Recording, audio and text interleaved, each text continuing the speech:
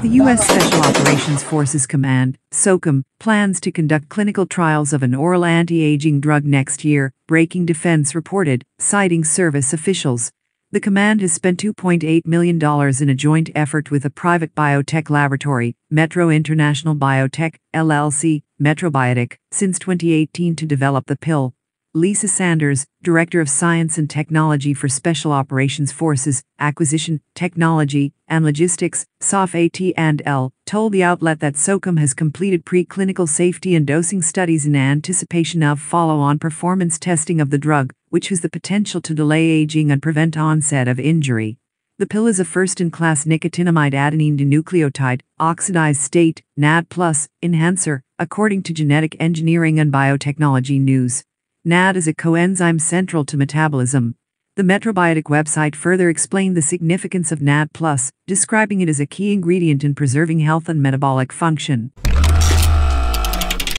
The United States on Monday promised to lead a collective response against Iran in retaliation for a deadly attack on an Israeli-linked tanker, as Tehran denied blame and warned against adventurism.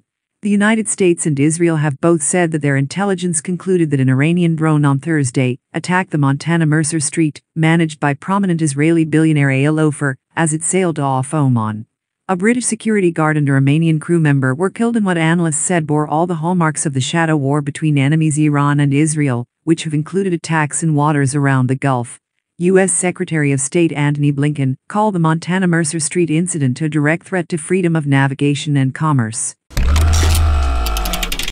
Ultra Electronics have announced that Sonar 2150 successfully completed its first of Class sea acceptance trial on board HMS Portland.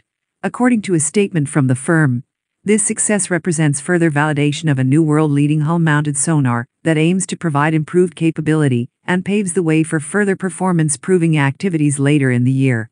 The trial took place over a number of days at sea, operating the sonar, detecting and tracking the target.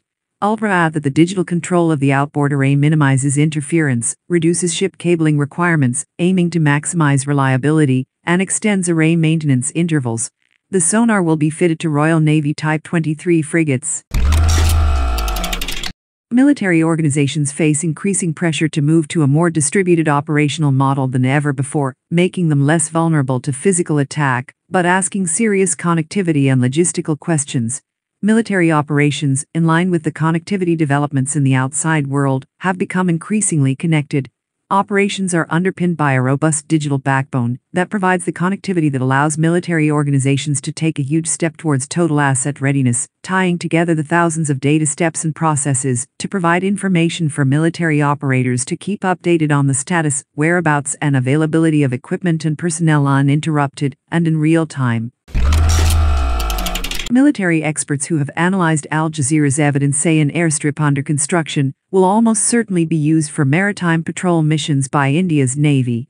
Rumors and media reports about the military base first surfaced in 2018, but both Mauritius and India have denied that the construction project is for military purposes and say the infrastructure is only to benefit the islanders.